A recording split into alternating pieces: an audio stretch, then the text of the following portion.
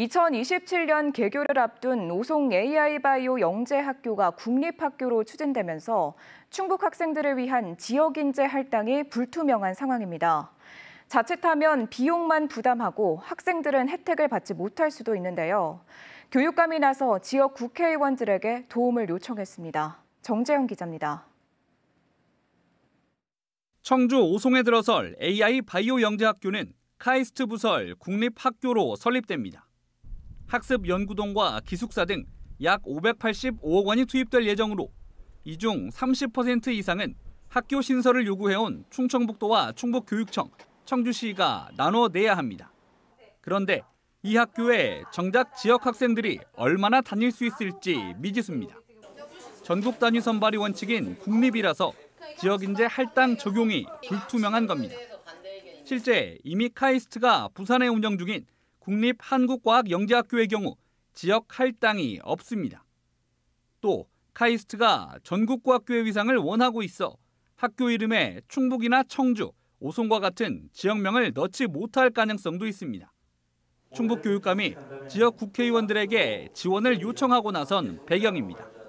지역에 좀 배려가 필요하지 않는가 하는 걸 갖고 지금 저희들은 최대한 노력을 하고 있습니다. 근데 이제 권한이 이게 이제 카이스트에서 어, 주도를 하기 때문에 좀 여러 가지 어려움이 있어서 충북교육청은 서울과 광주 등지에 있는 공립 영재학교들처럼 지역 인재를 최소 30% 이상 선발하게 해야 한다는 입장.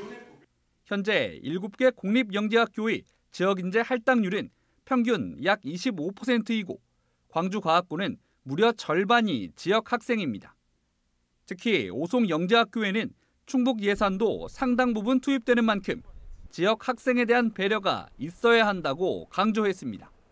새로운 문제가 닥쳤을 때는 결국은 구성원들이 다 같이 머리 맞대고 뭐 그 대책을 좀 모아야 되는 거 아닐까 생각이 들고요. 충북의 교육 발전을 위해서 혹시 할 수 있는 일이라면 최선을 다해서 돕겠습니다.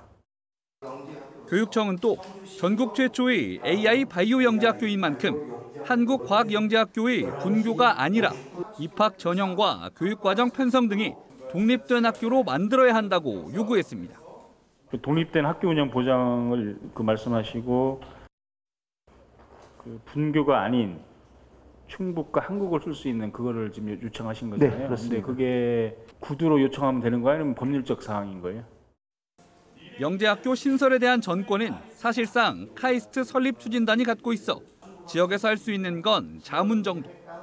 그만큼 충북 국회의원들의 역할이 중요한데 법안 처리를 둘러싼 여야 대립을 이유로 간담회에 참석한 의원은 8명 가운데 단 3명 뿐이었습니다. MBC 뉴스 정재영입니다.